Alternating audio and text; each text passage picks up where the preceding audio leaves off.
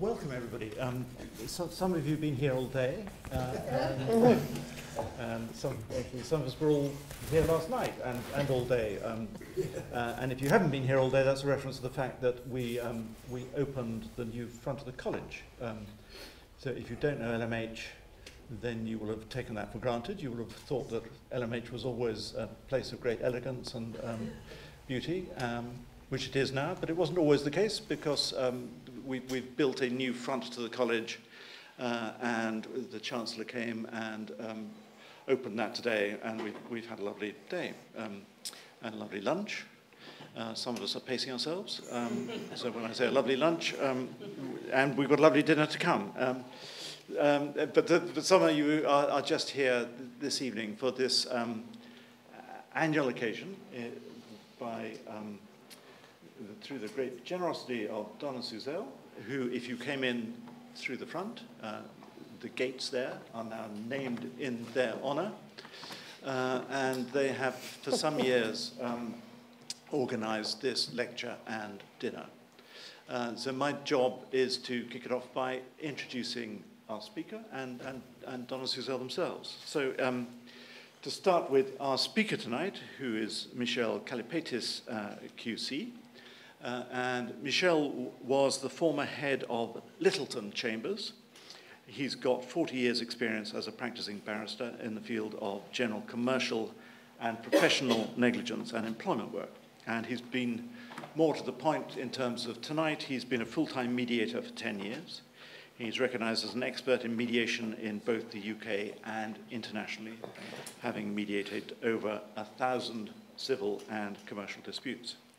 He's a distinguished fellow and director of the International Academy of Mediators, as well as a founding member of Independent Mediators Limited. He was the first chairman of the England and Wales Bar Council Alternative Dispute Resolutions Committee and a member of the working party that drafted the EU Code of Practice for Mediators. As a delegate for the International Academy of Mediators, he helped draft a convention for the enforcement of international commercial mediated settlement agreements. Who's Who legal elected him Lawyer of the Year for Mediation in 2016, and he won this year's award for Global Lawyer of the Year in the mediation category. So we're extremely lucky to have him uh, as the main uh, speaker tonight. Um, I should say something about Donna Suzelle, though some of you will know them well. Um, so Suzelle is a partner and co-founder of the US law firm Howarth & Smith. She has extensive experience in complex litigation, including class actions, antitrust, white-collar crime, and professional malpractice. She has a BA degree summa cum laude with special distinction in political science from Boston University, a Master of Philosophy in Politics degree from LMH here, and a Juris Doctor from the University of Virginia School of Law. She's an elected fellow of many legal organizations, including the prestigious 500-member International Academy of Trial Lawyers, where she serves on the board of directors. She's handled many high-profile cases in her career. Uh, she's recently acted for a prize-winning broadcast journalist in a major age discrimination uh, trial against NBC. You could tell us who that was later, or perhaps we know. Uh, she has represented victims of terrorism in a $2 billion case against Iran, which was decided in the US Supreme Court 6-2 opinion in Suzelle's favor in May 2016. Uh, and this year she also represented a designer of bikini bathing suits. Um, there's a difference uh, in a copyright infringement action against Victoria's Secret. You can tell us about that over dinner as well. Um, she's a frequent lecturer in law-related subjects for law schools and bar association groups in the US and abroad, and is a permanent visiting fellow of LMH and a member of the Board of Trustees of the University of Virginia Law School. So that's Suzelle. Uh, and Don is a partner and co-founder of the same firm. He received a BA degree from Harvard, his Juris Doctor from the Harvard Law School, and a Master in Public Policy from the Kennedy School at Harvard. He's an elected fellow of the American College of Trial Lawyers and one of the International Academy of Trial Lawyers. He was the lead counsel in the estate of Doris Duke will contest in New York, representing, he represented the NFL football players in antitrust litigation against the NFL owners, and this year he completed a case for film director Roger Corman in a $75 million claim against offshore money managers and defended a major national health provider sued by the United States for over $2 billion under the False Claims Act. Donna Suzelle, over 20 years ago, generously established uh, the Howarth and Smith Law Fellowship Program, which brings two Oxford law graduates each year to California for a law fellowship, complete with a beach residence in Malibu. Um, Yes, that's a fairly stunning thing, which uh, uh, uh, doesn't happen in many faculties or many colleges. Uh, and the majority of, of, more than 40 fellows who have been selected for the program through its existence are law graduates of LMH. Finally, Don and Suzelle have also served as counsel for LMH in the US. For example, they litigated a case involving a bequest to the college which was challenged by donors' relatives, where they achieved a very successful result for LMH. Um, thank you. so tonight, um, we've got uh, this distinguished lineup of speakers and bring us their thoughts uh, to um, the alternatives to um, their traditional um, court battles uh, and as a way of resolving legal disputes. And now I'm going to hand over to Suzelle. Thank you. So good evening, everyone. We see many familiar faces in the audience and some new faces, but welcome to you all tonight. The way we set this up and the way it'll run for the next 45 to 50 minutes is it's going to be forest, tree, forest. So I'm a forest, and I'm going to give you an overview of alternate dispute resolution. Then Michel is going to give you a tree analysis of a very specific issue in mediation. And then Don will wrap up with another forest look at some issues in mediation and arbitration. So as I said, I'm going to I'm going to give you an overview, really a, a, snapshot for those of you in the audience who are professional mediators or lawyers who do a lot of mediations and arbitrations. This is going to seem very basic. Michel will talk about confidentiality and mediation, and Don will talk about some issues of alternate dispute resolution and problems and hopefully some solutions, and then we'll take questions from the audience. Mine's a snapshot. So this is, this is discussing alternatives dispute resolution, alternative dispute resolutions. So the first question is alternative to what? Alternatives to dispute resolution we mainly talk about are alternatives to the civil court system. The civil court system, as you all know, is ancient in both the United States and in Great Britain and the United Kingdom. Sovereign courts were established before there was written history. After there was written history, ecclesiastical courts existed, civil courts existed, they became separated. All of this was many, many centuries ago. In the United States, we've had civil court systems since our country began. We inherited the system from England. We took it. We'd like to think we improved on it. Maybe you think we destroyed it. But um, in the United States Constitution, of course, in the Sixth and Seventh Amendments, the Sixth Amendment dealing with criminal trials, the Seventh with civil trials, the right to public trials is guaranteed, and juries uh, in our Constitution. So even before there were civil court systems, there were other dispute resolution mechanisms, and one of them is to pick up clubs or sticks and batter each other over the head. The uh, cavemen are, are, fighting with the clubs, and one of the cavemen says, I've in, invented a new way of, of resolving disputes. I call it the club. When I put this slide into the original presentation, I thought that it would be a lighter, amusing um, note. In light of the recent events in, in Manchester and the bombing, the suicide bombing in Kabul, this doesn't seem so funny to me anymore as it, as it once did because we don't, some of us don't seem to have moved that far beyond the cave people in resolving or attempting to resolve our disputes.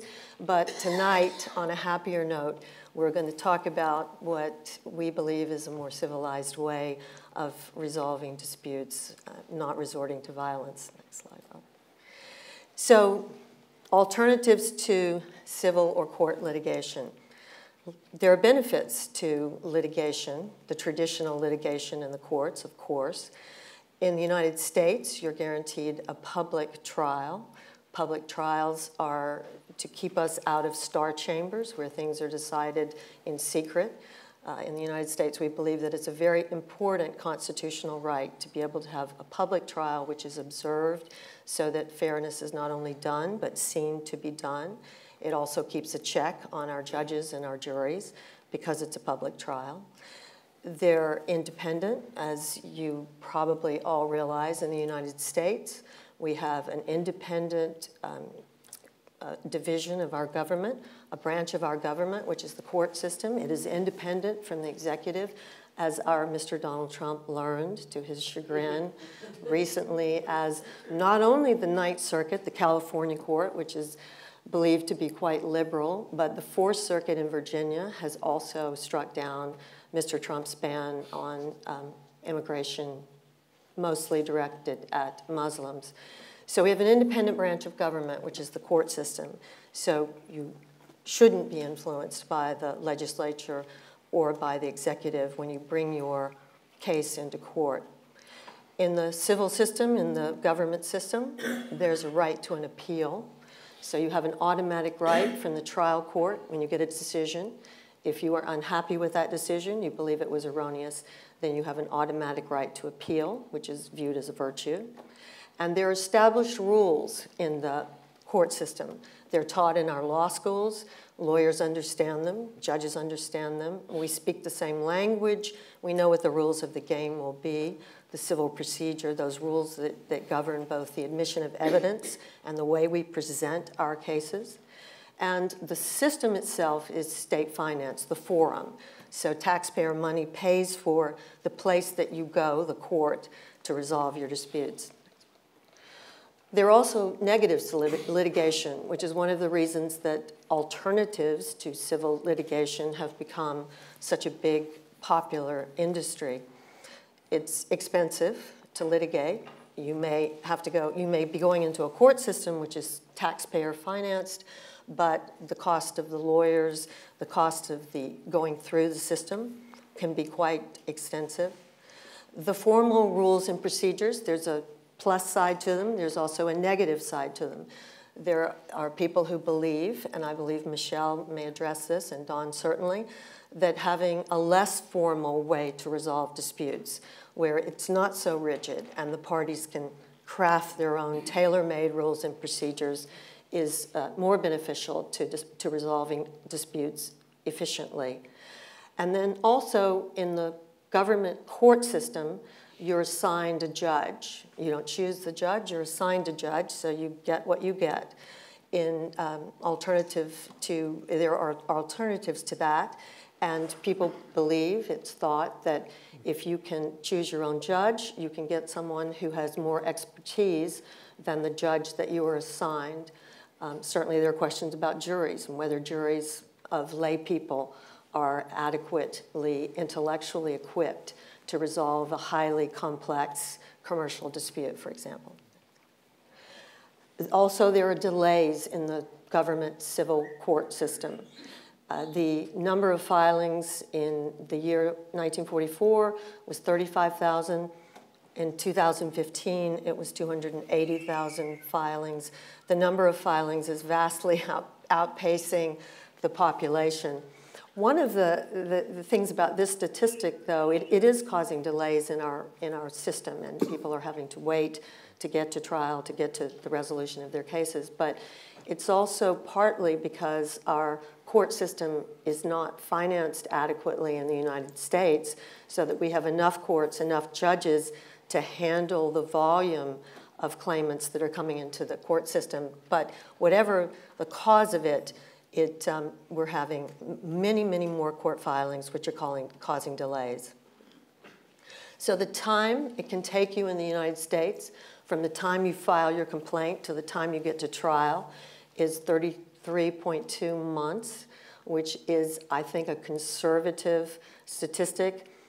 Don, in my experience, is that it can take up to five years, sometimes even more, to get your case to trial. So that's considered a negative, and one of the reasons, again, that alternatives to the civil court system have arisen.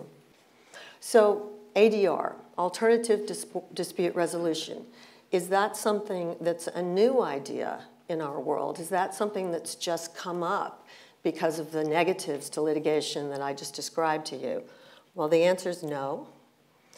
Arbitration, which is one of the principal alternatives, alternatives to civil litigation, was very familiar in the old world. The Romans knew about arbitration and used arbitration back in the 5th century BC, the 6th century BC. The ancient Greeks used arbitration, and the merchants, the commercial actors, developed codes and procedures to resolve their own disputes because they were dissatisfied to some extent with the government court systems of the time and they developed rules and regulations that actually got picked up by the, by the common law and the civil law. But it originated with the merchants getting together and deciding themselves they needed a better way to resolve disputes. Next slide. Arbitration in the United States goes back to the founding of our, of our country. George Washington, the first president of the United States, wrote a will and in his will, he specified that if anyone disputed, any of his heirs disputed the will, that it would be decided not through litigation in the court system, but by three smart men. And um, that those three smart men would not have to be bound by any of the laws of our country, that they could just get their heads together and decide what they thought was right, unhindered by what the particular law of estates and family law happened to be. So the two principal uh, alternatives to civil litigation are, of course, arbitration and mediation. And the reason I'm giving you this very basic distinction and definition between the two is that even very sophisticated clients, captains of in industry, CEOs, sometimes get confused and use the word mediation when they really mean arbitration or they use the word arbitration when they mean mediation. And they're very different, and it's very important to know which one you want and which one you're talking about.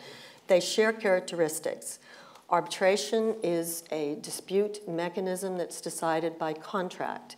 It's voluntary in the sense that the parties get together and they voluntarily enter into contracts that govern the resolution of disputes that may arise in the future they are binding. So when you enter into an arbitration agreement and you agree to arbitrate and go through that system, it is binding. It's not voluntary. Once you sign the contract, it's, it's, it's binding. The decision maker is chosen by the parties, or a mechanism for choosing the decision maker is chosen by the parties.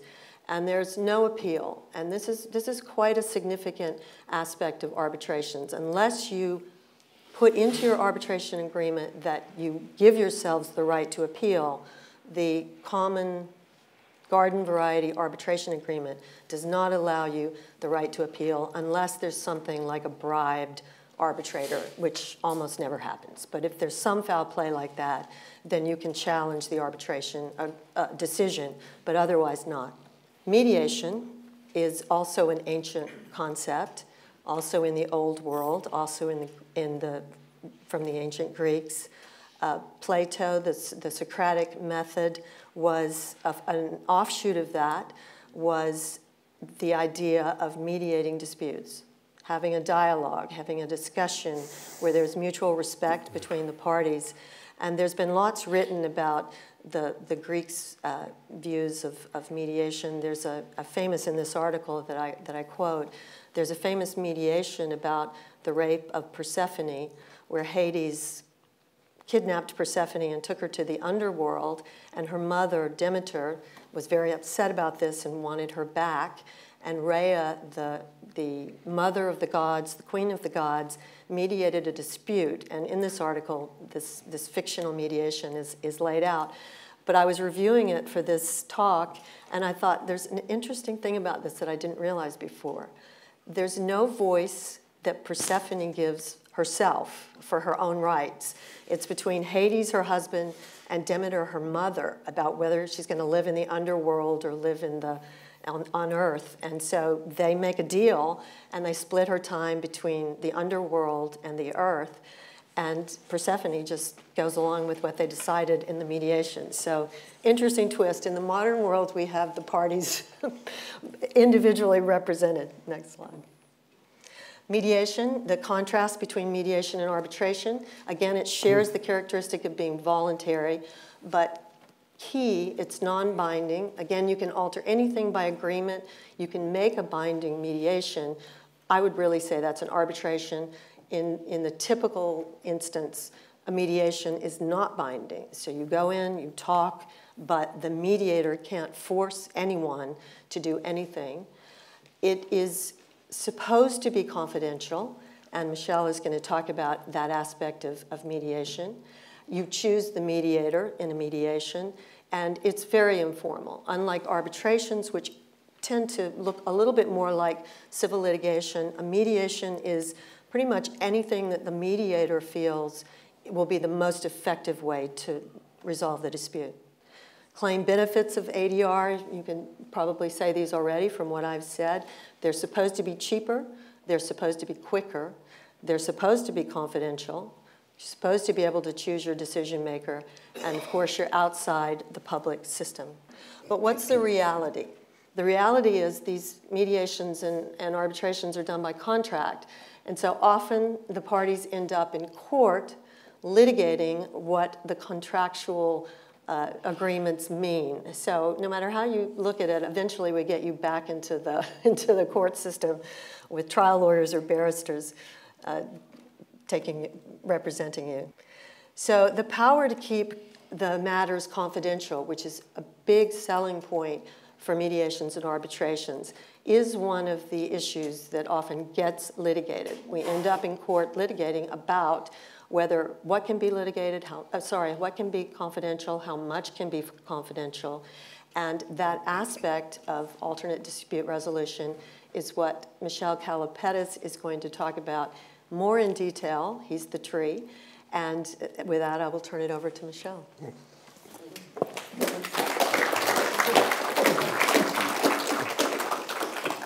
I've been described many things, but I think tree it's a first.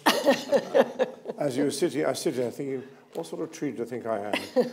Mm, oak tree, no, not distinguished enough. So I thought this I must be a baobab tree, the sort of shape fits. Um, I have here copies of what I prepared for this evening, for those of you who are really um, sad people like to read lots of things, but I'll just pass them around if anybody wants it. I'm not going to read it all the way through because um, we'd be here well beyond dinner time and keeping lawyers from their dinner is, is a capital offence. Let me move on from what um, Suzelle was talking about to a little table which shows a comparison between traditional methods of dispute resolution and mediation. And I do so for this reason. The contrast is hugely important to the question of confidentiality. People ask me, why did I go into mediation? Well, 40 years at the bar, coming out of court, even having won a case, to be met by the client saying, is that justice? Is that all I get? The judge said this, but he didn't know that. And I wanted to say this, but I was prevented. And it, it drove home to me the inadequacy of court proceedings for resolving disputes between human beings, even companies, because companies are human beings with a shell over the top. And then I saw a demonstration by Philip Naughton, God rest his soul, on mediation, and that just said that's the way through. So I then had CEDR, one of the leading organizations, into chambers, trained uh, 10 of my barristers and two solicitors who made up the numbers. And uh, then I didn't look back. And then after a few years, I found I was doing more mediation than litigation. And for commercial silk, that wasn't a good idea. And so I left and founded the company, and since then I've been full-time mediating. the importance of mediation, going through the list there, is that it's private and confidential. I'll come back to that. You can see there that um, litigation can be protracted, as uh, Suzelle was talking about in, in the States. I think we're a bit better here. Two years, I think, is the average of case getting heard. Arbitration can be protected. I'm going, doing an arbitration at the moment. It's been going on for five years. Absolutely outrageous, but uh, it happens. Pleadings are a necessary part of litigation. Arbitration also. There's no pleadings in mediation at all. You formulate what you want the mediator to read. You exchange with each other what documents you want to exchange. You probably will have a bundle. And then that's it. Litigation is limited to what is pleaded. Arbitration is limited to what's the, in the arbitral agreement. Litigation exacerbates emotions. Everybody knows that. And similarly, arbitration, although it's supposed to be in private. In, mediation is different. It's not a spectator sport, as litigation and arbitration is. The reverse of this room, the judge sits up there somewhere. In front of him is his clerk associate. Then there's the QCs, then there's the junior barristers, then the solicitors, and the client sits back here somewhere. Totally removed from the action. Listening to an interchange between the judge and the lawyers in a language he doesn't understand. The judge asks the question, Mr. Kelly what does your client say about so-and-so? I turn to my junior, what does he say about so-and-so? Junior says, what does he say about so-and-so? Sister says, what does he say about so-and-so? Back he comes. And by the time it comes to me, it's ceased to have the immediate effect of the client actually answering the question. And when I then reformulated in a language that I think the judge might like to hear, the well, I never said that. but in fact, he did, but in a different way. The essence of mediation, I thought about it, and it seemed to me that I'll come to some slides in a moment. It's not spectator sport. The client participates in it. And the mediator is not a judge or an arbitrator. I decide nothing as a, as a mediator, except how parties should behave. Occasionally approving lawyers if they overstep the mark, occasionally reminding lawyers that I do know something about the law when they're talking absolute nonsense, and uh, reminding people of the realities of life which is usually the costs so far, the costs going forward, what's actually in dispute. And it isn't as if I have to have a settlement. I don't have to have a settlement at all, nothing to do with me. People say, are your mediations successful? I say, my mediations are always successful. Clients don't always settle. And that's an important distinction. If people lead a mediation without a, a settlement, I, people say, are you disappointed? I'm not. But I am disappointed they don't know three things. First, as a result of the mediation process, and it is a process, not a, a limited period of time, which is another important distinction, they must know precisely why they haven't settled, what the issue is, what's holding them apart. Is it a matter of law? Is it a dispute of fact? Is it a difference of view? Is it, God forbid, experts disagreeing about what the expertise should be applied results in? Second thing, what the consequences are. So I always insist parties actually tell me roughly how much it's going to cost to take the case through to the end of trial. Because then each issue that's in dispute has a price tag. And matters of principle shrink into nothing once they realize the cost of litigating a matter of principle. And lastly, people need to know what each side's real bottom and top line is, because sure as eggs, after the uh, mediation if they haven't settled. There will come a time when they wish they had, and they need to know where they wish to go. So mediation say, is not a participation sport. It is very much, um, the, the, sorry, not a spectator sport. It's very much a participation sport. And uh, it is totally and utterly without rules in terms of what you can do. Just a really short example traditional way of getting out of a contract is to go to your sister and trawl through something the other side had done, fabricates oh, a fundamental breach, writes a letter, we accept your fundamental breach, end of contract. Other side says, I'm not in fundamental breach, you are. No, you're not. And each sue each other for damages, they're in court, argue about who's, who's at fault. But all you want to do is to rearrange the contract. In mediations, recast contracts, redrafted boundaries, redrafted share agreements, everything is possible because people sit around a table and say, what's the problem? What do we need to do? How are we going to fix it? And all I do is help them get to, to fix it. What I don't do is decide. And that's why the confidentiality is so important. I get people to sign an agreement which has this clause in it. The parties of the media shall keep confidential and regard as privileged and shall not use any information of any nature produced for or arising in connection with the mediation save, and that as may be necessary, you see the exceptions there. Then 11.2, keep confidential and regard as privileged, and shall not use what happened and what was said at the mediation and the terms of any settlement unless the settlement agreement has its own confidentiality terms, in which case those will prevail. I explain that to people who haven't mediated. What that means is this. Nothing that anybody says in the mediation, no figures agreed, arguments accepted, or points conceded can be used outside the mediation if we don't succeed in resolving it and you end up in court or in, arbitration without everybody else's written consent. That's a measure they understand. I must say, when I do say that, I have all my fingers crossed, in case a lawyer says, well, can the court compel us to give evidence about it? It's a question, thus far, I've never been asked. But if I were to be asked, Frankly, I don't know the answer because of the English law state at the moment, it means it's uncertain. This is further confidential. All documents created for the mediation, no formal record shall be made, and each party shall sure that everybody else will abide by the terms of confidentiality.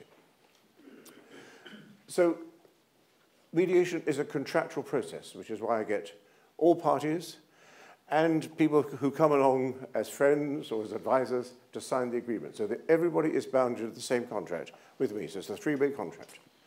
If there are more than two parties, as often are, then it's a five-way contract, six-way contract, whatever the case may be. But everybody's bound by these terms. So it's important that they are, in fact, they mean something. Now, I make it clear at the start, there are endless types of mediation. Family mediation, mediation for uh, matrimonial disputes, mediations for uh, um, community mediation. I'm not talking about those at all. As far as this evening is concerned, I'm talking only about commercial disputes, international or national, but where the parties are always represented. They have lawyers, QCs, and also possibly experts as well. That's the type of mediation which I think is important because the one question I'm always asked by particularly American organizations, how safe is it? How can we be certain these documents aren't going to be used in litigation in the States if we have to sue there the same client? What protection can you guarantee we have? And I can't. I do the best I can to assure them that it's unlikely, but at the moment the state of the law is such that I can't guarantee that everything created for the mediation is confidential. The reason is this common law, I'm leaving civil law countries out of it for the moment. Common law countries are divided between those who have a blanket ban on anything that transpires in mediation being used in evidence. And California is the prime example. The California Evidence Code prohibits the introduction in evidence of anything at all that's said or communicated in the course of a mediation. Even, uh, rather unhelpfully, uh, the fact of a settlement itself. Uh, Don was telling me how they get round it, and Don still entertain you, but it seems to me that's far too far. It has this consequence. Cassel in the Superior Court, the Supreme Court reversed a decision where a lawyer had been given specific instructions by his client, I do not want to settle for less than $2.5 million. What did the lawyer do? He signed an agreement on behalf of his client for 1.5. Straight malpractice. Straight, not just negligence, straight disobedience to the uh, retainer. So he sued and wanted to introduce the fact that in the mediation he said, I don't want to settle for less than 2.5. Not allowed. The judge, uh, at the first instance, allowed it, but the Supreme Court said no and recited the evidence code, which you see there on the screen, all discussions contained, conducted in preparation for mediation, as well as all mediation-related communications that take place, are protected from disclosure. Absolutely wrong. They went further, rather surprising for us rather more liberal-minded uh, lawyers. They approved of the observations in a case called Wimsatt, where the judge, describing mediation, said when clients, such as the malpractice plaintiff in that case, participate in mediation, they are, in effect, relinquishing all claims for new and independent torts arising from the mediation, including legal malpractice causes of action against their own counsel. Now, I think there isn't a, country in the world, apart from California, who thinks that's a good idea. but the opposite end of the spectrum is what we have in this country. The courts, almost universally, with a few notable and laudable exceptions, simply regard mediation, and I'm quoting, as assisted without prejudice negotiations. And therefore, subject to all the exceptions to which without prejudice negotiations are, namely they can be set aside, and you'll find the case was Procter and Gamble, Robert Walker, LJ, giving the judgment and resume of the law. If you're following the notes, it's a paragraph 8. Um, where issues whether without prejudice communication have resulted in concluded compromise agreement, the court has tried to look at the without prejudice negotiation to see if there's an agreement. I'll come back to that because one of the essentials of mediation is every contractual mediation agreement that I know of contains the clause, and I say to clients, the whole process is non-binding unless and until we get an agreement which is put into writing and signed by all parties. Now that's essential because it means whether there are more than one issue, we could take it issue by issue. If we could agree one matter, put that to one side, go on to it, and so on, until everything has been agreed. But even then, even if you've agreed everything, you each have an opportunity to look at the whole package without being bound in law before you sign up to it. But that's essential, because as all negotiators will know, you'll give on one point, you'll take it back on another point. And so at the end of the day, the whole package is important before you actually commit yourself as a matter of law to it. And what courts have done is to ignore that. Brown and Patel is a case, which we'll come to in a moment. But all the exceptions to the without prejudice rule being applied to mediation, in my respectful submission, and with great respect to some of my judges' friends, uh, is just wrong. And the difficulty is that it's going to undermine the confidence in the mediation process by the international business community. Because once it gets known that English courts will look at mediation communications on a series of seven or eight exceptions, then the guaranteed confidentiality process has gone. I have a solution which is somewhat novel, which I shall suggest at the end. Um, but in essence, uh, courts have paid lip service, which is why the somewhat rude title of this lecture is Judicial Myopia or Willful Blindness. They paid lip service to the idea that mediation proceedings should be confidential. In Halsey, which is the seminal case on mediation, Lord Justice Dyson in terms said, um, we made it absolutely clear uh, that it's common ground that, and we adopt parties entitled in an ADR to adopt whatever position they wish, and if as a result the dispute is not settled, that's not a matter of the court. And they were absolutely right. It was our submission as well as the Law Society's. It's not for the courts to investigate why people didn't arrive at a settlement. But that doesn't prevent the courts investigating without prejudice communications to see if there was a settlement. But then when I heard, read the phrase, without assisted without prejudice negotiation, I remember, of course, this, we are commemorating these years, the dreadful World War I experiences. And uh, looking online, a sort of idle moment, I came across a couple of pictures and thought, that's what assisted without prejudice negotiations are. First was this, that's one side. People have their view, they sit in their trench, they fire their points across the table at the other side, and the other side sit in their trench and fire their points back. Now that typifies to me negotiations without prejudice, where parties have a position, they stay with their position, and they try and negotiate across uh, a, a minefield. Of course, if it's an assisted without prejudice negotiation, the poor so-and-so who's the assistant has to go to no man's land. And we all know what happens to somebody who stands in no man's land with both sides shooting each other. He gets shot, poor bugger.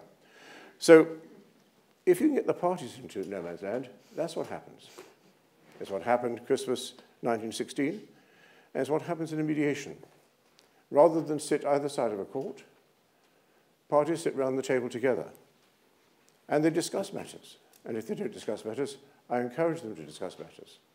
I ask questions of clients and say, you I say, my client's not going to speak in the mediation.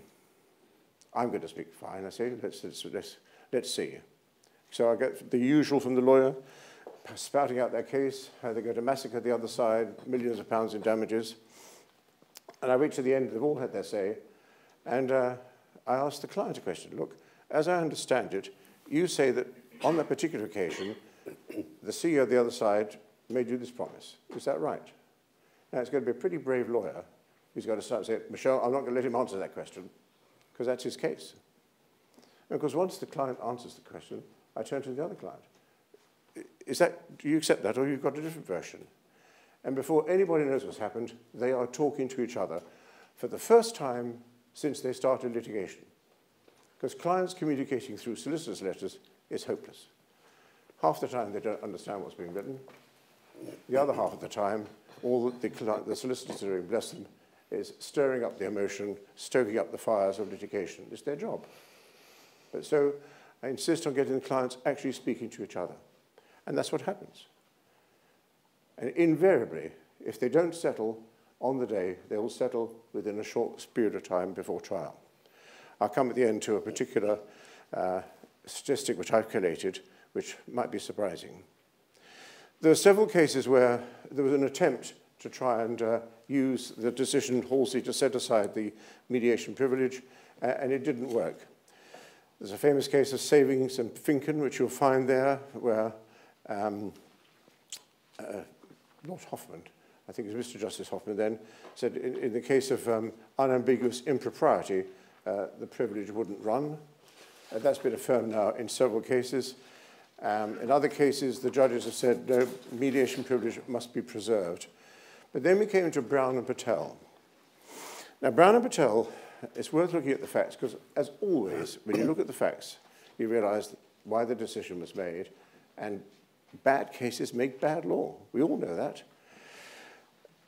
At a time when she was subject to an individual voluntary arrangement, Mrs. Rice purchased a property, sorry, sorry sold a property to Mrs. Patel for 250,000, but didn't tell her IVA supervisor. As a result, she was made bankrupt. Her trustee brought proceedings under the Insolvency Act against Mrs. Patel, alleging that she had bought at an undervalue. Three-day trial was set, uh, had a mediation, all day long in the mediation, and uh, at the end of the day, one side was at 80,000, the other side was at 40,000, and there they stuck. Council had to go back to London. They said to me, look, I'm sorry, we can't do anything more tonight. I've got to catch this train. I'm in court tomorrow somewhere else. Um, mediator, can I have a word with the clients? of course you can, but there's no deal tonight. Mediator, are you prepared to leave both offers on the table to noon tomorrow? And both clients said, well, okay, we can do that. Well, of course, the inevitable happened. It's a phone call the following morning from the, uh, Mr Brown, the trustee, uh, threatening Mrs Patel in somewhat choice language. Unfortunately for him, Mr Patel had taped the whole conversation, so when he swore his witness statement to say, uh, I inquire of Mrs Patel whether she'd be willing to perhaps raise her sum to it. In fact, what he was saying is, if you don't accept my offer, I'm going to put bailiffs in and bankrupt you as well, which wasn't a very good thing for a trustee to say, but there we are. Um, and at one minute to noon, he instructed his solicitors to accept the offer from the other side. We had all the nonsense then that it was one minute after noon, they had timing on the, on the fax machine and everything else. It was absolute nightmare. And they applied to court on the basis that there had been a concluded deal on the basis that this was without prejudice negotiations, which resulted in a settlement. Applied to court. Court said, yes, you could have the evidence and demanded that the evidence go in for hearing. Uh, it was transferred to Chancery, so we had three days in Chancery. And I appeared as an intervener on behalf of the mediation sanity. And um, the, the judge rejected the first argument, which was if it's not a written agreement, why are we bothering? Standard agreement. It would be the end of it. No, I'm entitled to hear evidence as to whether or not the parties have concluded an agreement orally, in spite of the fact they signed the agreement. Well, after two days' argument, he decided they did uh, say they would have an all agreement, but having reached an all agreement, that was then subject to the terms of the mediation contract, therefore it had to be in writing, and as it wasn't in writing, therefore it wasn't effective. Well, Stewart is a good friend, and I did observe him afterwards. All he had done was to spend two days going around and disappearing up his own orifice, but um, uh, he, paid me the ultimate compliment of coming to me as a pupil mediator once he'd done his training as a mediator, so it wasn't all bad. But that case um, let the door open for people to adduce evidence of what transpired in a mediation, in spite of the fact they had agreed that nothing would be binding until it was in writing. So it's, it's the thin end of the wedge. The next case, which is really quite startling, I'm going to skip now, um, to Farm Assist. Now, Farm Assist was a case involving uh, DEFRA, foot and mouth disease compensation. There was a mediation in which both sides were represented by leading counsel. Each side had their own experts, and of course, solicitors, and God knows how many paralegals. And they reached a settlement. The, after the settlement was reached, the farmer, who was the claimant, um, went into liquidation. An organization called Ruttle Plant Hire bought from the liquidator a cause of action and brought an action to set aside the settlement agreement on the grounds of undue influence and inequality of bargaining power. Well, you might wonder, even if you're not a lawyer, if there's a party there with QCs, junior counsel, experts and solicitors, how is it that party entered into agreement under any undue influence? This seems to be sparkingly obvious that uh, this is a fabricated claim. However, Ruttle Plantire brought a case. It came in front of Viv Ramsey, who's a trained mediator. And uh, without going through all the complicated details, it turned out that the transfer of the right of action was faulty, so he threw the case out. Whereupon the liquidator resurrected the company and brought the action himself. So this is the second time round. And this is where then uh, um, Viv Ramsey made an order that the mediator attend to give evidence. Uh, and she wrote a letter, as she was invited to do so, and uh, she said this, you will appreciate that this mediation occurred many years ago, in fact, six years ago. And in the intervening period, I've conducted up to further 50 further mediations a year. I therefore have very little factual recollection of the mediation, Further, having retrieved my file, I find there's a certain amount of correspondence, a copy of the mediation agreement, and the names of the parties, but nothing else. I've got no recollection at all. I can't possibly assist. Notwithstanding that response, the um, learned judge ordered the witness summons to stand on the basis that the allegations that the settlement group was entered into an economic duress of what was said and done in mediation necessarily involves evidence from what Farm Assist says was said and done by the mediator. This evidence formed a central part of Farm Assist's case, and the mediator's evidence is necessary for the court properly to determine what was said and done. That's in spite of the fact that the mediator, which he accepted, had no recollection at all, no notes, it was six years previously, and some uh, 250, 300 mediations afterwards.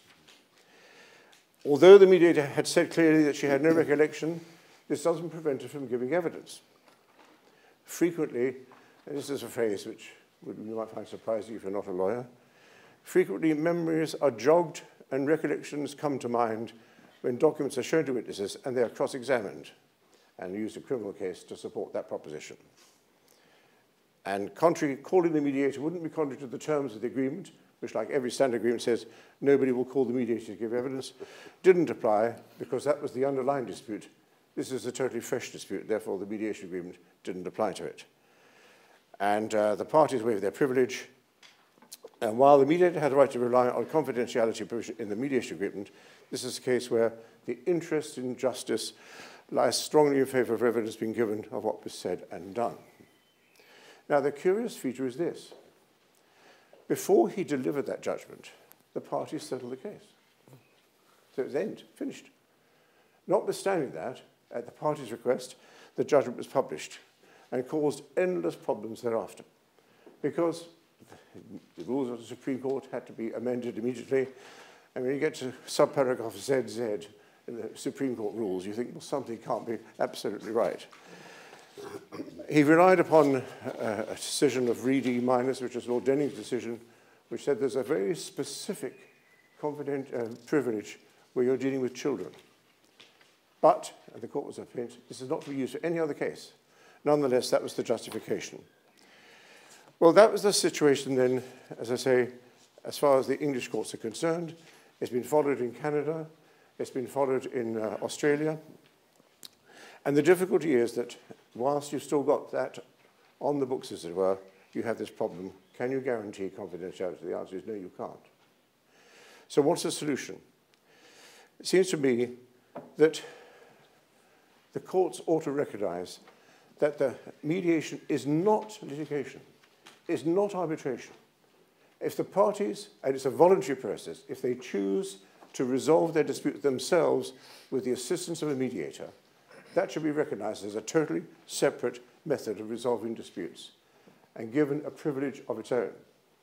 And the privilege that I have devised is that once the parties have agreed to mediate, nothing which is communicated in any form before, during mediation, etc., may be used outside the mediation without the consent of the parties and the mediator, unless one is necessary to enforce or implement a concluded written agreement, not to determine whether agreement has been reached, mark you, but whether, having parties having signed it, that was the agreement. So that gets around the difficulty California was in.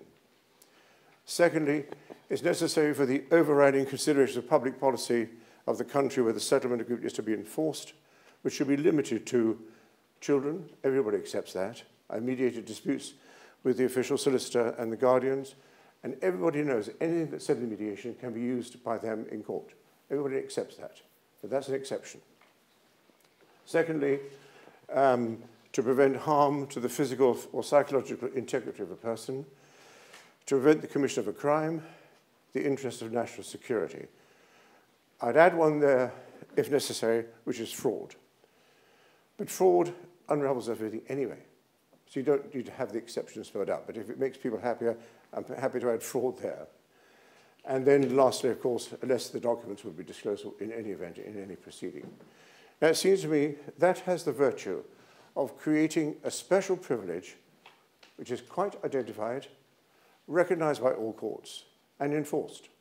It doesn't deprive anybody of any action because if they want to sue their lawyer for the case in Cassel, sue your lawyer.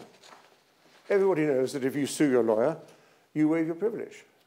And so what communicated between the lawyer and the client, be it in mediation or outside mediation, is governed anyway by the ordinary laws of evidence. If you want to sue the mediator, for some alleged slight or undue pressure. You have a contractual arrangement with the mediator, so under the contract. If the mediator breaches confidentiality, for example, by disclosing to one side something that he learned from the other that he shouldn't have done, sue him for the damages if he suffered any. What you do not need is the court involved in a process trawling through a mediation to try and find out whether or not a complaint is made out. It was done once, a case called the Earl of Malmesbury where Mr. Justice Jack decided that the rule that a party who ref unreasonably refused to mediate should be penalized in costs could extend to a party who unreasonably behaved in a mediation. We had three days, affidavits from both sides of solicitors, all the paralegals' notes transcribed to determine whether or not somebody had behaved unreasonably in a mediation. The costs were nearly six million pounds on a claim which started at 80 million but which the judge awarded less than one. And three days then argue about who should pay those costs. The unsuccessful party appealed to the Court of Appeal, by which time the costs had reached nearly 10. And it was then mediated by one of my colleagues successfully, one of the conditions being, and this is all Chatham House rules here, that the Earl of Malmesbury was never to know how much his solicitors had charged in costs. so, mercifully, that's not been followed. Several very senior judges have said this is absolute nonsense. The last case was Mrs. A.B., where, as so often happens, the parties didn't finish the mediation with a settlement on the day appointed for the mediation. but they continued talking thereafter, using the mediator to put offers to each other.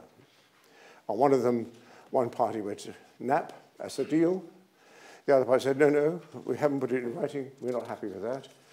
They then sued, and the mediator was summoned to give evidence as to what had transpired in the telephone calls. The judge describing the mediator in these terms, the, the mediation hearing having been concluded. Now that's a clue that the judge was thinking mediation is a court hearing. The mediator's involvement with the consent of the parties was nothing more or less than an ad hoc go-between, whatever that means. But it meant that he wasn't a mediator, it wasn't covered by any form of mediation, confidentiality or privilege, and therefore the mediator was obliged to give evidence about it. Again, just wrong. I'm sorry for Anthony but Stewart, he's a very good friend of mine, and he mediated with me, but that was just wrong.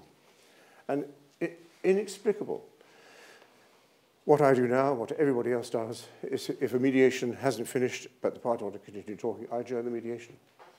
Continue the process until a, date, until you tell me you don't want to continue anymore, and all communications are if we're still sitting around the same table in the mediation. It's very simple. One little statistic, in case people think that mediations will not be supported by the com commercial business community. I make it a rule, as I said, to ask people to give me how much you've spent so far, how much you will spend if you don't succeed. I do roughly 100 mediations a year. 80% settle on the day or before trial. One year, two years ago, I added up all the costs of the parties that had settled and averaged them out. And the average was 250, 450,000 pounds for all the parties. Times 80, you see the figure yourself. That's the figure that those parties didn't spend on wasteful, useless litigation, not counting management time, not counting the sheer personal cost of giving evidence and preparing for trial, which those of you who've been involved will know only too well. And I'm only one mediator. There are at least a dozen of us are now full-time, and all I can say is that anybody who thinks that mediation isn't here to stay had better think again. But to make it work and to fulfill the promise that the judges give that the process will be protected, make sure we get a proper mediation privilege, please.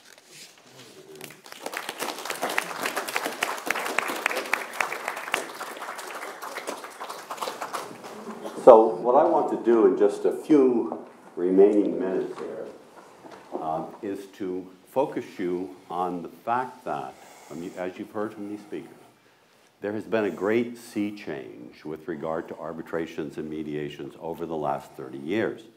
So much so that you might say, well, why does litigation remain here at all? Why isn't it all arbitrations and mediation? So the scholarship and the people practicing in these areas have pointed out a number of problems and issues that I want you to be aware of so that we can have some discussion of those and then I want to finish with trying to tease out just a little bit, if we can, what really is behind this tremendous success to mediations, because it is tremendous. It is utterly successful. What is it that's working in the mediation system that has been so successful over 30 years? So let's look at some problem areas first. And I divide these into four areas for you to think about. Issues in arbitration. So we're in arbitration now where there's an actual decision, not the voluntary, let's talk about it. The arbitration, we've heard, is done not in the public process. It's without accountability of that decision of the arbitrator. In most of them, as Suzelle has pointed out, unless you provide specifically for an appeal, there's no judicial review if the arbitrator gets it wrong. And then there's no public scrutiny, scrutiny whatsoever of that decision because it's private and confidential. If you think that's unimportant, look at these comments. The Straus Institute, which is one of the leading mediation arbitration institutes in the United States, in fact, the head of the Straus Institute was a speaker here at the Howarth Smith lectures about four or five years ago. Very prestigious institution. In a survey they did, it showed that 25% of the arbiters feel free to follow their own sense of equity and fairness in rendering a reward, even if it would be contrary to the applicable law. Now, those of us nursed and grown up on the common law feel that the way justice and fairness has been incorporated by this process of accretions, case after case after case, may not always be apparent, but there's a sense to it. If 25% of the arbitrators are doing something that they feel is right, but it's contrary to applicable law, then we're developing something here apart from that legal system that isn't seen by the public, which is having an impact in the way decisions are made in a quarter of the cases. And then when you look at cases like the Wachovia Securities case, in which they attempted to appeal, what the Court of Appeals acknowledged was a wacky interpretation of a contract. The court held that's not sufficient grounds for review. The arbitration is final and binding, absent extrinsic fraud. Final and binding, no matter how wacky. So before we embrace it completely, I want you to think about some of these problems. We've heard that a mediation arbitration is voluntary. The parties have to agree. And I want you to look first at the bottom of this, because I think where international arbitrations and construction defect arbitrations, these specialized arbitrations, where arbitration is most effective, it's in those areas where there's a particular expertise to the arbitrator. Where I think it is least effective and causes the most problems is with consumers. So you have arbitration clauses in fine print in contracts, contracts of adhesion. You don't get the product online if you don't click that you accept the terms. You don't get your credit card honored if you haven't accepted that long list of terms that you've never read. So it went up in kindred nursing centers last year to the Supreme Court of the United States, 2017. State of Kentucky. The court there held that the arbitration clause was inconsistent with the fundamental law of the Constitution of the state of Kentucky that you had an inalienable right to a jury trial, which of course you don't have in arbitration. The Supreme Court said no. The parties agreed to an arbitration. The right is not inalienable. The form contract was upheld in kindred nursing. Now, right now in California, and I think some of that press has seeped over here, and throughout the United States actually, but California is a big branch of Wells Fargo Bank. We're confronted with the problem of Wells Fargo Bank opening, without the knowledge of its customers, phantom accounts for them and charges being accrued to these accounts. And it opened many, many thousands of these accounts, employees of Wells Fargo. So it's gotten the attention of the legislature in California, and what the legislature says is, well, yes, there are arbitration clauses that those customers sign, but surely for something this important affecting this many people, we can't compel them to arbitrate. They have a right to go to the jury trial. Now, that's getting some traction in the legislature, but every dispute is important to somebody, whether it's a lot of them or not. Every amount of money or issue is important to someone. The reasons really don't make sense in terms of being arguments against the arbitration if you believe the kindred nursing home result. I think, by the way, and I can't spend more time on this tonight, but I think where this scheme will go, if I'm seeing the future just a little bit through the mist right, is that rather than attacking the right to arbitration itself, the way really that this needs to be addressed, this problem, is attacking the definition of agreement. Has there really been an agreement to arbitrate in these kind of situations? And I think when it goes up, it's not going to go up because there are a lot of people involved or it was a terrible thing that somebody did. But where it really has a chance after kindred nursing is in attacking the definition of what is really an agreement to arbitrate. Next slide. Third group of issues that arbitration mediation raise. We look at the judicial system that's public, appointments for life in our federal system, not owing to anybody, certainly once they're on the bench. Uh, but in arbitration and mediation, they're paid for by the parties. There is marketing. There are issues of who are you going to be loyal to. The Straus, uh, this is Duke University's survey, said they're generally screened by organizations accustomed to servicing business interests. They have interest in looking at arbitrators. So that's who generally screens many of these organizations. Large law firms may be repeat players that an arbitrator will have to deal with, where a single individual or a smaller law firm may never come before that arbitrator again. Institutional parties, often defendants, may be repeat players. Are they really getting from an arbitration decision the fairness they, they should expect from someone who has absolutely no interest in the outcome or in further employment? I just raise it as an issue. Next one. This one I think is a little more subtle but important to us as lawyers. When you think about the goals of the law, it's not only to punish and deter and to compensate, but it's to educate. The law is there to teach the citizens where the boundaries are, where the, where the lines are drawn. There's an educational function to the law. And Oliver Wendell Holmes, many years ago, said very clearly and very correctly, I think, that the life of the law has not been the logic of the opinions, but it's been experience. It's been this brick by brick, accretions, new situation, a, a, change in the rule, a variation in the rule. And when we put so much into arbitration, we get a situation where it's being done by agreement back in what Suzelle called a star chamber. So I was discussing this recently with a classmate of mine from the Harvard Law School who's now a very respected federal judge in San Francisco. And he is handling right now this case, which I think you may have heard a bit over here, of the Uber executive who left and stole the secrets and went over to Waymo, I guess, which is a, a Microsoft or something, but there's a debate there. And after our discussion, I was very pleased to see this come out, next slide, by Judge Alsup uh, two months ago. Our federal courts belong to the public. And the public and the press have a legitimate interest in looking over the shoulders of the work in progress in our courts. Now, he was talking here about a confidentiality agreement, not an agreement to arbitrate, but very similar concerns. The essence of our work concerns evaluating competing arguments. The parties should not hide those arguments under seal out of a desire to shroud their business dealings in secrecy.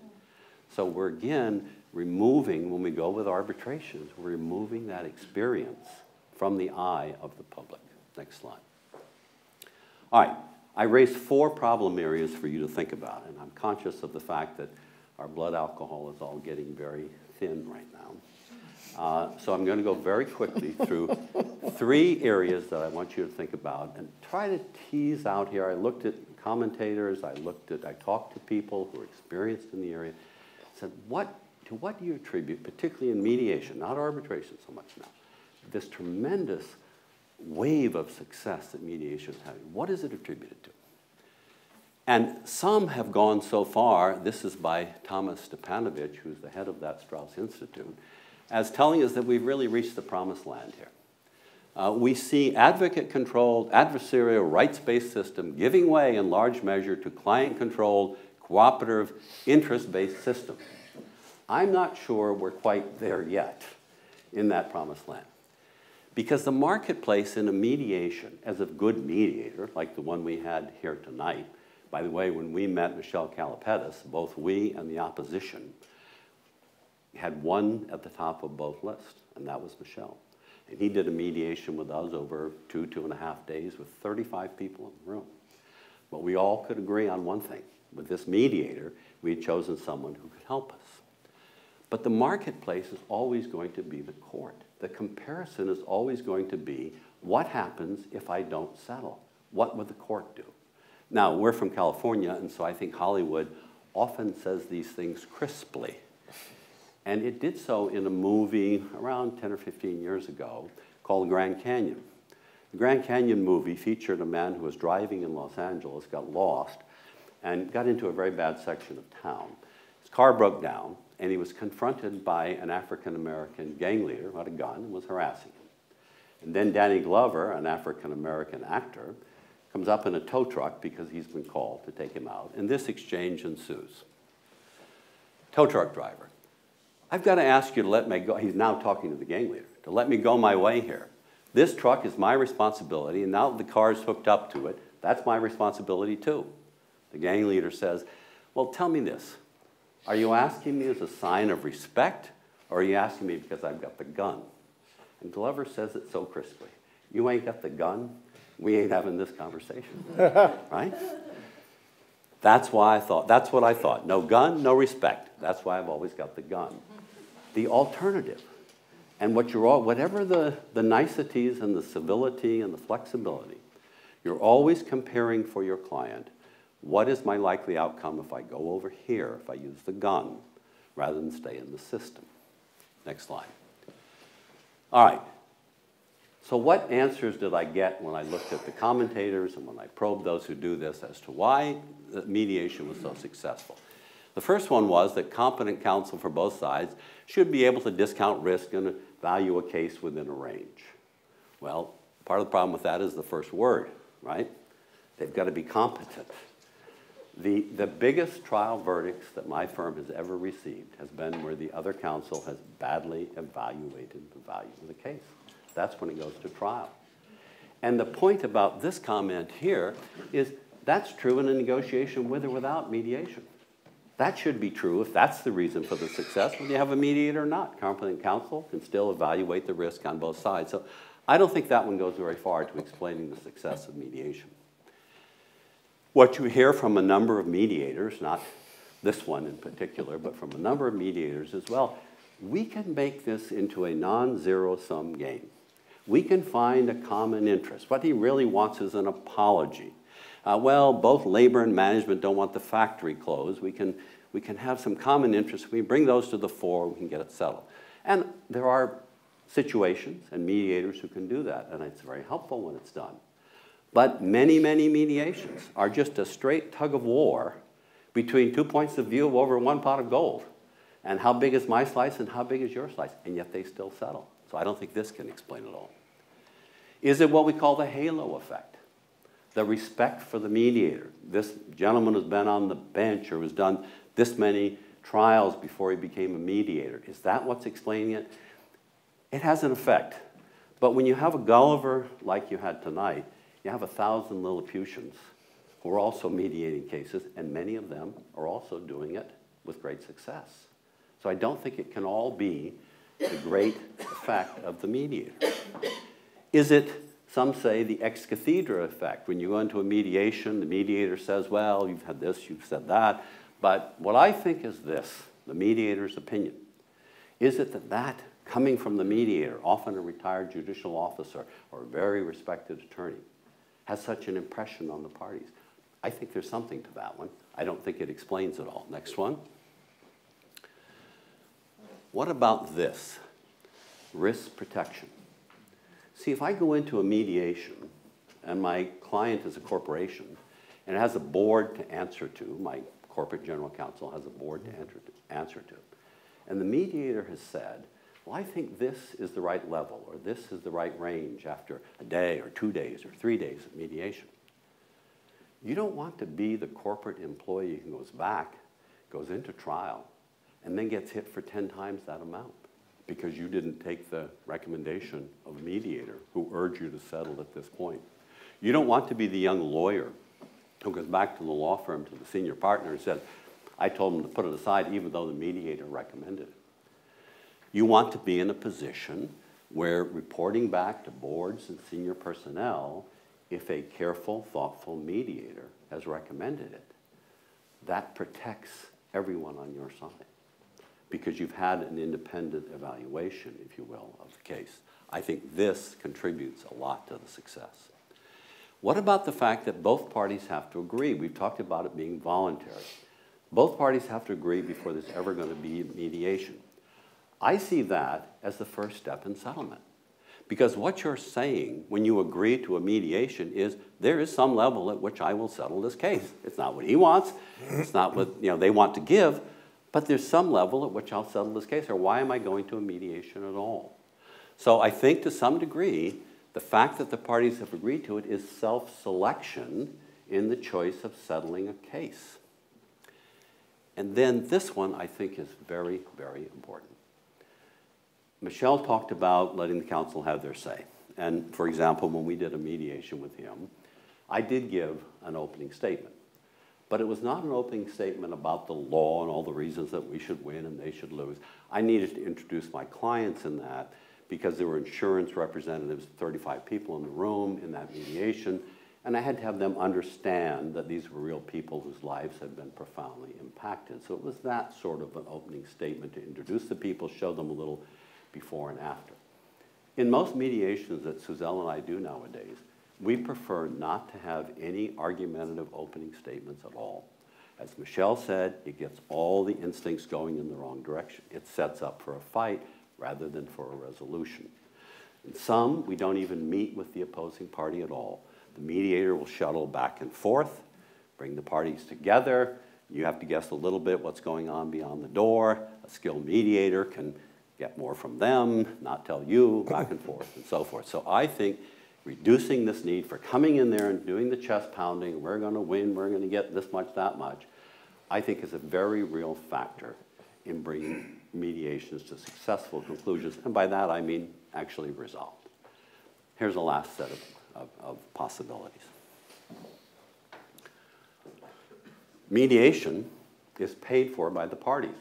I identified that as having some issues earlier. I want to get something when I pay for it. Parties want to get something when they pay for it. When you pay for the mediator, for we had two in our case, it went on for two or three days, and we had a major case here in London. Uh, when you pay for that mediator, it's true you may be saving lots of money down the road, but you don't want to go in and come out with nothing to show for that. So again, I think just the fact that you're buying the mediation, you're paying for the mediation, puts the parties into a mindset where it's easier to get that game, that, that um, case settled. And then finally, um, we hear about game theory. I was very fortunate to study at the Kennedy School under Thomas Schelling, who was the Nobel Prize winner in game theory. And in game theory, we have two branches, conflict, how to resolve conflict through figuring out where the opposition is going, and also cooperative theory, cooperative theory. And cooperation, collaborative solutions, I think are something that really are fundamental to human nature. We have conflict, that's a part. We want conflict. But I think we also want to be able to design something that's cooperative.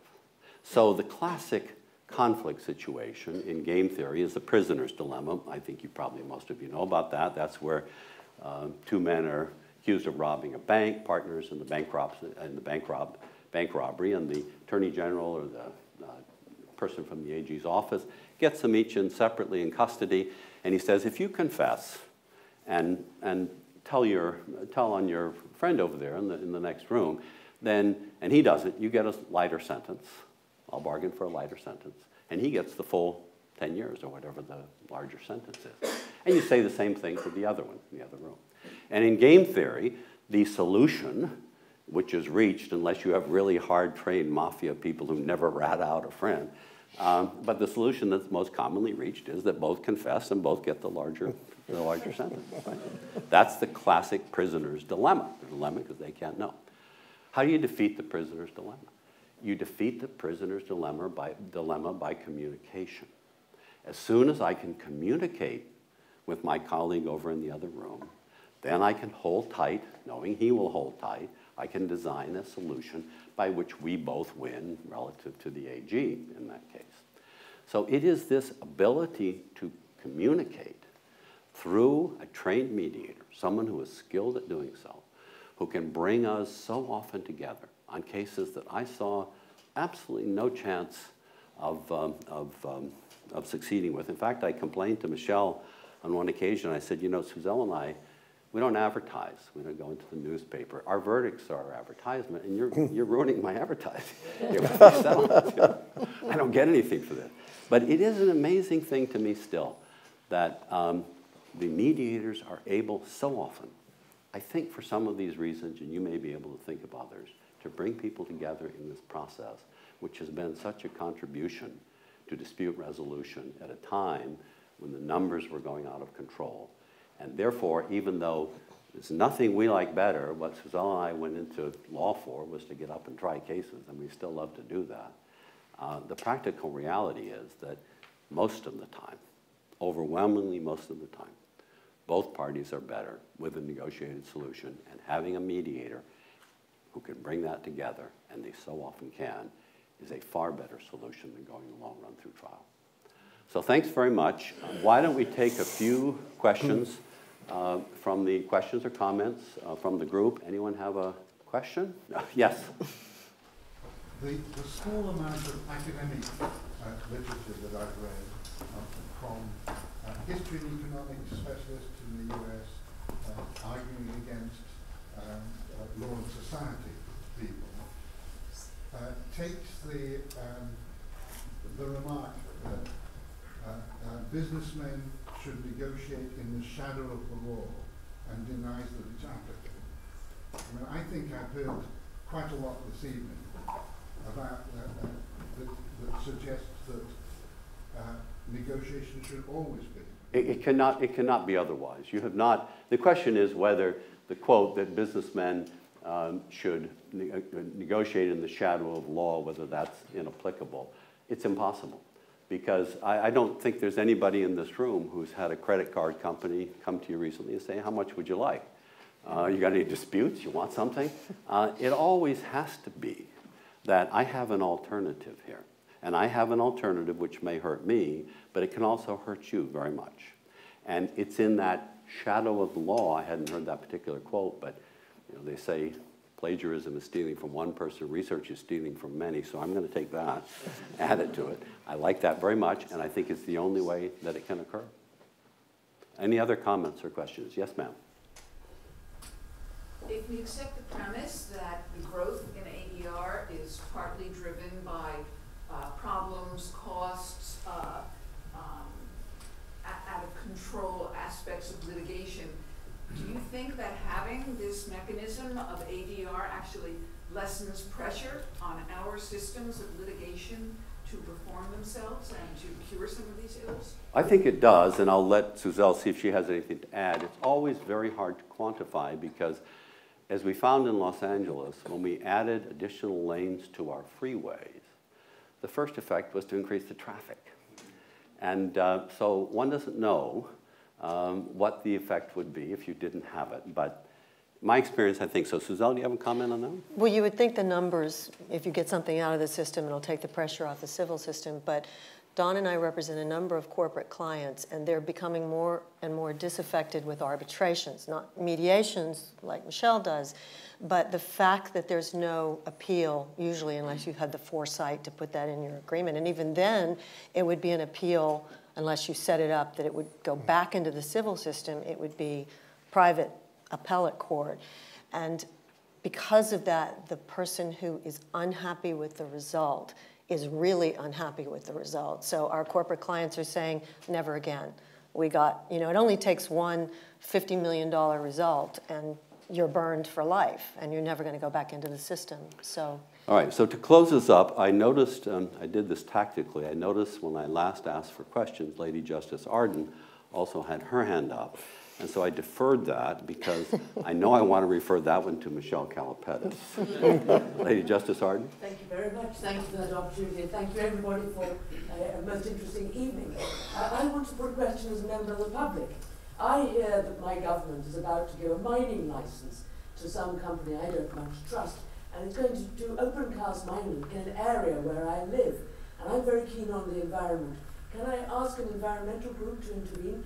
Will the, arbit- uh, the mediators allow them to intervene, to put their point of view? And if not, can I go to a court and get an order that I do have a power to intervene? Michel? There's a public interest here that I want to see represented.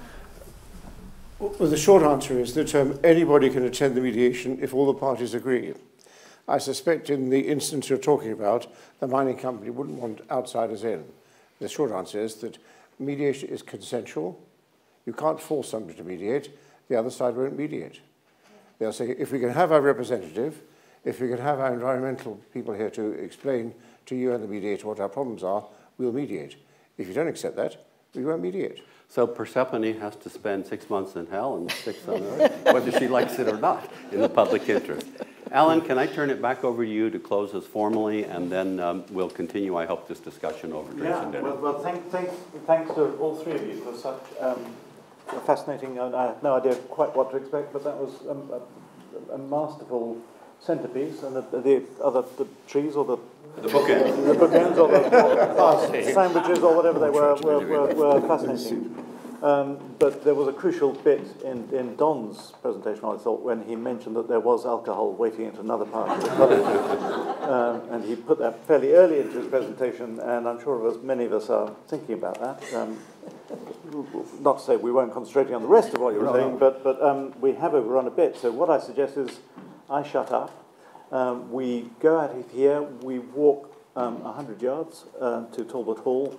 There is alcohol, uh, and then after that we can eat. But thank you very much. They, that was all fantastic and um, lots to talk about.